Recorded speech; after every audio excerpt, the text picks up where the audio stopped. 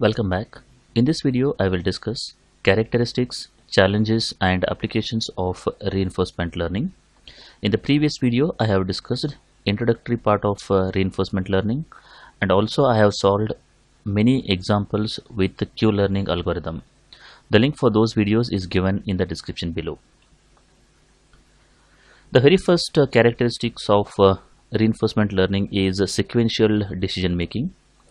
In this case, there are different states are there. Uh, the robot is present in state number 9 and S6 is an obstacle, S8 is a danger and uh, this is the goal state over here. Now the agent has to go from S9 to this particular goal state. In this case, in reinforcement algorithm or a learning, the agent cannot go from this particular S9 to this particular goal state. That is not possible. He has to follow a path that is he has to go from either S9 to S10 and then to S11, S7 and then S3 and then finally to this particular goal state or else he has to follow some other path like uh, he has to go to S5, S1, S2, S3 and then finally to this particular goal state. So what actually happens in this case is uh, the decision making will be done sequentially that is step by step in this particular case. And any one uh, a mistake in this particular decision making may lead to a failure over here. For example let us say that the agent has uh, come to this particular s7 uh, when he is present in this particular s7 rather than making a decision to go to s3 if we make a decision to go to s8 the entire uh, the decision will go into uh, a failure state over here. So this is the very important characteristic of uh, the reinforcement learning that is sequential decision making the second one is uh, the actions whatever the agent performs they are interdependent. For example let us assume that the agent has performed an action over here like uh, the right action from s9 to s10 he will move. So when he is present in this particular move uh, the whatever the action he can perform that depends on whatever the reward he has got in the previous case. For example if he has got the uh, positive reward then he will continue in this particular path for example, in the previous case, if he has got the negative reward, he will continue or he will stop this particular path and then he will take some other path. The third characteristic of uh, reinforcement learning is uh, delayed feedback. So what actually happens in this case is uh, the rewards. You will get immediate rewards that is uh, for every action but for, as a whole that uh, for that particular path you may not get the reward immediately so that is uh, whenever you go from uh, s9 to s10 you will get an immediate reward for this particular action. But if you want to get this particular final uh, reward he has to go through this particular entire path. Once he reaches this particular uh, the goal state then only he will get the uh, uh, the overall feedback or you can say that the reward for this particular path over here back to the next one uh, that is called as uh, time related. Of course uh, every uh, uh, action whatever the agent has performed that is a time related. For example when he is present in this particular state let us assume that the time is t and when he perform another action maybe uh, he will go up or right the next time instance will be t plus 1 here. And then if he perform one more action it will become t plus 2 and so on. So all the actions whatever he is performing that is a time related in this particular case now coming back to the challenges uh, of uh, reinforcement learning, the very first challenge the we will face when we design uh, a reinforcement uh, learning model is the uh, reward design.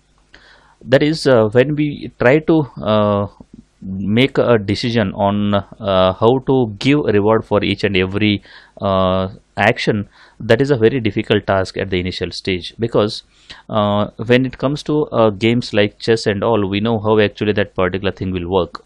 But there are a lot of uh, games or can say that the applications are there where we don't know how that particular uh, the game or the environment will work. In such case it's very difficult to design a reward uh, strategy in this particular case uh, the second one is the absence of model. Again as I said earlier when it comes to chess we know that uh, there are this is a fixed board and we know the rules for that particular thing. When it comes to any other games or uh, some real world application there is no fixed board as well as there were no fixed rules in that particular case. So uh, because of this particular thing uh, again uh, simulating such kind of things is a very difficult task. So what we need to do is we need to gather some experience over a period of time and then we need to use those particular uh, experience to design uh, reward as well as to come up with a final optimal path in that particular case.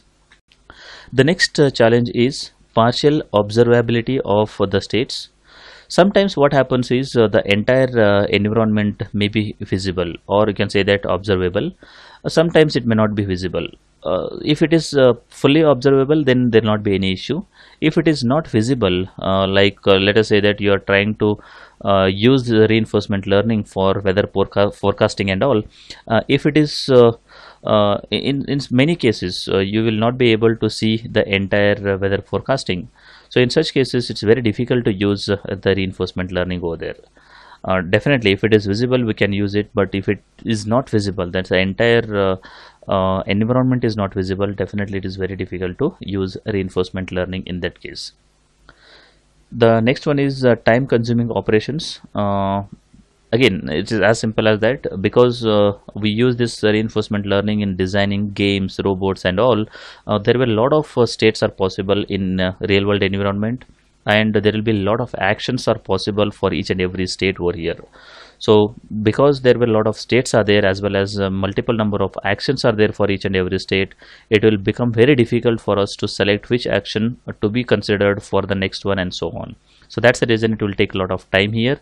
And because of this it will become a very complex uh, what you can say that the algorithm in this here coming back to the applications of uh, reinforcement learning the reinforcement learning is used in many applications. Uh, almost every domain we can use this particular thing.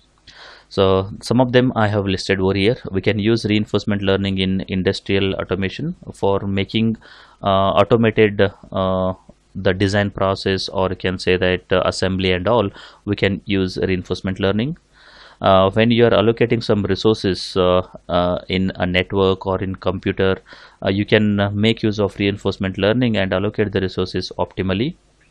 Uh, when it comes to traffic uh, light control uh, if you are trying to do it manually you have to look at that particular traffic and then make, make based on that particular thing you have to turn on the traffic lights and so on. But using reinforcement learning we can make sure that uh, where there is a larger traffic where there is a low traffic based on that particular thing we can make uh, the traffic control over here the reinforcement learning can be used in uh, personalized uh, recommendation systems. Uh, for example, when you go through any e-commerce websites or you can say that any video streaming applications, whenever you go with one video or purchase one product, definitely you will get a lot of recommendations over there. So if you want to achieve such kind of things, so definitely you can use reinforcement learning in this particular case uh, if you uh, the, the, the reinforcement learning can be used in uh, bidding of for advertisements uh, online uh, advertisements over here. The same thing can be used for designing uh, driverless cars and so on. These are some of the applications what i have listed over here. There were n number of applications or the domains are there where we can use the reinforcement learning in this case. So in this video i have discussed what are the characteristics of reinforcement learning what are the challenges uh, we face uh, when we design reinforcement learning model and where we can use reinforcement learning in general. I hope the concept is clear. If you like the video, do like and share with your friends. Press the subscribe button for more videos. Press the bell icon for regular updates. Thank you for watching.